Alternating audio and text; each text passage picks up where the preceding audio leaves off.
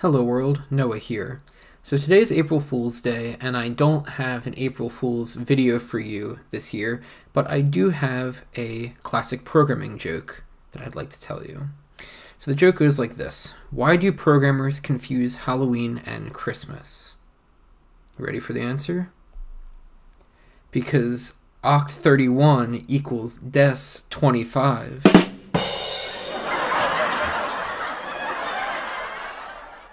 Now, if you were laughing along with that totally real crowd, you can probably stop watching this video.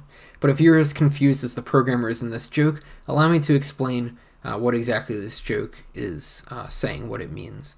Um, so first of all, it has to do, obviously the oct and dec have a uh, double meaning, right?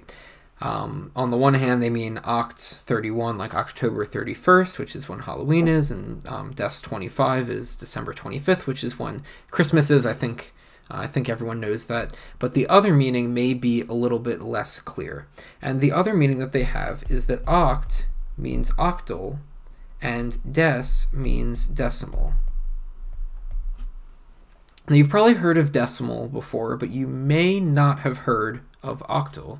And so let's talk about those now to explain the joke. So decimal is the base 10 number system. This is the number system that you and I use when we, um, you know, count and, and uh, use numbers in our lives. Let me write this a little bit bigger. Okay. So the decimal number system is a system that we use, right? And when we say a decimal number system, another way that you can think about this is as a base 10 number system. And you may not have thought about this, uh, you know, explicitly, but you understand it implicitly. That, for example, if I have the number 1, 2, 3, right, the, these digits, the 1, the 2, and the 3, have different values, right? The 1 in this case is not actually a 1, it's a 100. And the 2 in this case is actually a 2, it's a 20, right? And so if we look at this, the way that we can, um, the way that we can uh, do this is that we multiply each number by its uh, place value, right? And so the place value for the 3 is in the ones place. So this is the, um, the digit, let me uh, try and write this a little bit better. So this is the digit, and I'll, I'll draw a nicer looking table in a second, but this is the digit, and then this is the, uh, the place value, right? Place value. So the 3 is in the ones place, the 2 is in the tens place, and the 1 is in the 100s place, right? And so if you want to um, find the actual value of this number, you can do 1 times 100 plus 2 times 10 plus 3 times 1, right? That's how you would calculate the actual value, and of course you'll get 123. And so this formula of multiplying each number by its place value is basically how you can you know create large numbers. Because in the decimal number system our digits go from 0 to 9 right? And so if we want to represent 10 we need to have you know 10 or anything bigger than that we need to have these place values so that we can assign a larger value to the regular digits you know just the 10 digits um, that we have. And so uh, one other thing that you may notice is that all of these place values are powers of 10, right? 1 is 10 to the 0, 10 is 10 to the 1, and 100 is 10 squared. So when we have a base number system, or a base 10 number system, then all of the place values are powers of 10. And you start from 10 to the 0, 10 to the 1, 10 squared, cubed, etc., etc., and you make really big numbers, and they're all just powers of 10. And so what we had before in this joke, um, part of the joke was dec 25, so decimal 25. And so we can draw a table, and it's going to be a very small table in this case, um, but it would basically look like this. So we have 25, right? These are the digits. And then this would be where the place values are. And so the 2 is in 10 to the 1, which is just 10 and the 5 is in 10 to the 0, which is 1. And so to calculate this, we would do 2 times 10 to the 1 plus 5 times 10 to the 0, which is just 2 times 10 plus 5 times 1, which is a value of 25. Now, base 10 isn't the only number system that exists. It's the one that we use in our everyday, but there are other number systems that we can use, and you've probably heard of some of them. Binary is the base 2 number system, so it's made up of zeros and ones, and all of the place values are powers of 2. There's also hexadecimal, that's 0 through 9 and A through F, so there's 16 possible values. You may have seen this used, um, you know, it's commonly used for colors if you work with CSS, HTML, or I guess anywhere that, that um, web colors are used. Um, and there's other uses for, uh, for hexadecimal as well. Um, those are fairly common. And then one that is not as common, but um, still has its uses in some places, is the octal number system.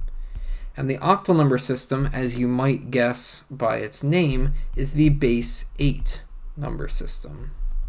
Base 8 right? And so the base 8 number system means that this um, that all of the place values are powers of 8. And because it's a base 8 number system, it means that the digits are from 0 to 7. Right? And so what that means is that there is no digit 8 in octal, right? If you wanted to represent 8 in octal, it would be 1 0 or I guess 10 in, in decimal if you want to think about it like that. And I'll do an example in just a second to make that more clear. Um, but it's the same way that there's no digit for, no single digit for the number 10 in decimal. You have to use two digits to represent it, right? And so that's how octal works. And now, basically, you can make the same chart that we made before, the same table, I should say, that we made before, but this time the place values are going to be powers of 8 instead of powers of 10 because we're working with the octal uh, number system.